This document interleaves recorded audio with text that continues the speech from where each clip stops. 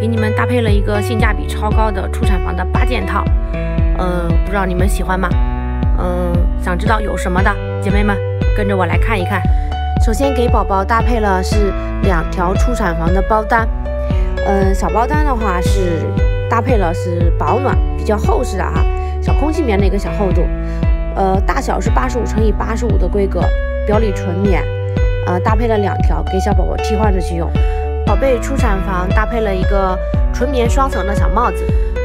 给宝宝搭配了两件出产房的小衣服，呃，两件的话厚度是不一样的哈。下面的话这个是绿色的，是呃小空气棉保暖的一个小厚度，嗯，厚度比较适中，适合室内去穿，嗯，表里也是纯棉的一个面料啊。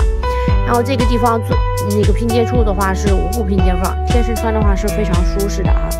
另外一件的话比较厚实，这个是月子里面可以去穿的一当当一个小棉袄去穿的哈，比较厚实，保暖效果也比较好啊。搭配了一个红色的小鹿款，表里也是纯棉的哈。然后背面的话做的是一个小挖背的一个款式啊，它不容易兜屎兜尿。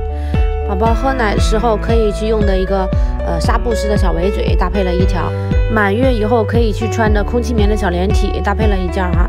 嗯，这个小连体的话，腿部全部是闭裆式的，有扣子。穿脱是比较方便的哈，然后面料的话是空气棉的小厚度，啊，面料非常柔软，贴身穿的话也是很舒适的哈。衣服全身的拼接处的话都是无骨拼接缝，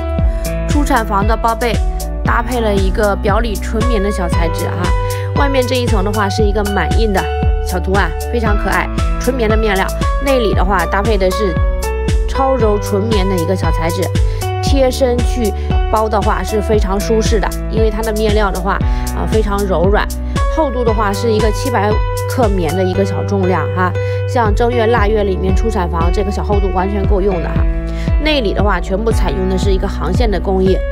机洗啊手洗啊都是不会变形也不会脱棉的哈。这个包被的话给你们搭配的是一个九零乘以九零的大小，呃还有一个非常萌的一个小帽子，面料手感都是非常不错的啊。